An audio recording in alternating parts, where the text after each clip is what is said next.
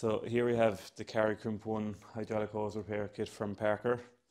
So this simple piece of equipment, it can repair any hydraulic hose from quarter inch up to inch and a quarter.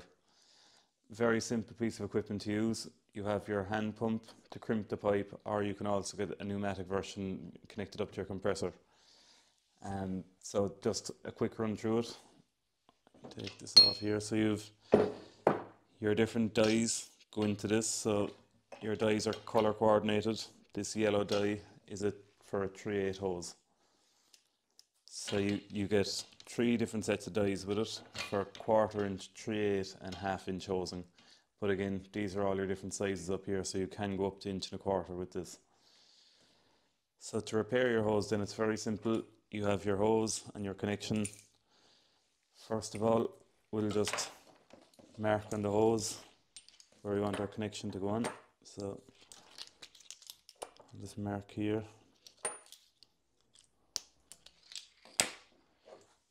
We'll put on this top of our dies. So our hose then I'll just dip it in a small bit of oil just to get the connection on. Push your connection onto it until it goes up to the line that you have marked. So once we have our connection pushed on hand tight onto our hose, we'll stick it into the machine here and we'll just start manually pumping this. So you can see my top cover is coming down out to meet this plate.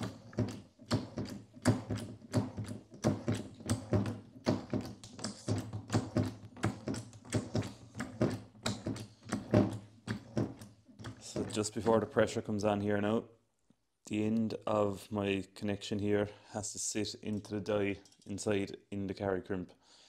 So I'll just bring the stress on a small bit. Now it sits down into it. So you can see the hoses sitting into there properly. So then we'll keep pumping until this plate reaches the bottom here.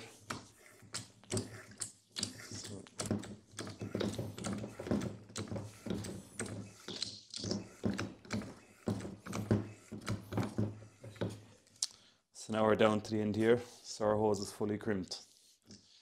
All we do now is release the pump. Our hose falls out underneath and that's fully crimped on there now.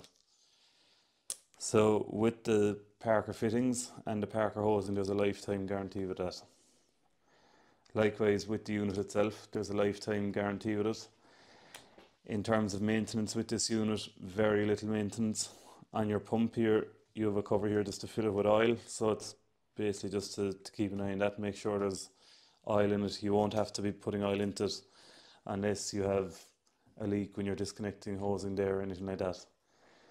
Also, inside here, before you put the dies onto the machine, just rub a bit of grease inside there. It just stops the dies from wearing over time. So that's really the only bit of maintenance you're able to it's portable I suppose so you're able to bring it out to the field you're able to mount it inside in a bench and have a pneumatic version of this if you wanted to. Um, and yeah it's a very simple piece of equipment to use